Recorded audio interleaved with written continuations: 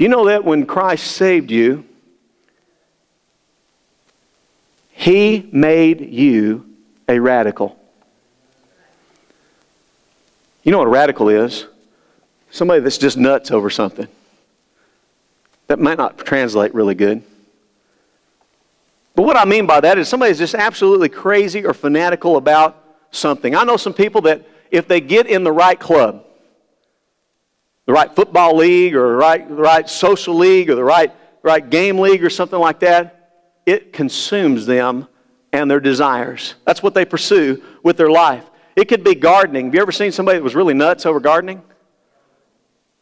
I mean, I, have learned that you can grab different plants with different plants and come up with different plants. It's like a science. I don't know where you can learn all this stuff. Not saying that gardening is wrong, but when it becomes the life pursuit, or maybe it's not gardening, maybe it's Freemasonry or dominoes or, or youth leagues or, or band leagues or something, whatever, whatever club it is, that's all they talk about. When you walk up to them, say, hey, how you doing? Boom, they go right to that conversation.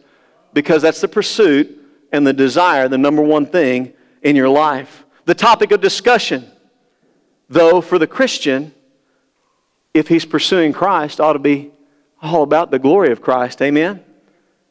When Christ came, He made all things new within us. The topic of the discussion and the practice of your life is now focused and it's now fixed on Jesus and on spreading His glory.